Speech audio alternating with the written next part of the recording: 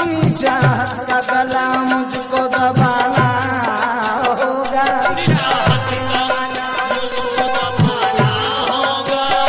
उसको बदनामी के फंदे से बचाना होगा।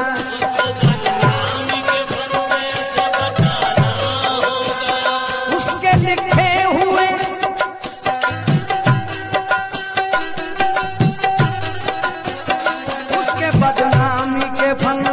से बच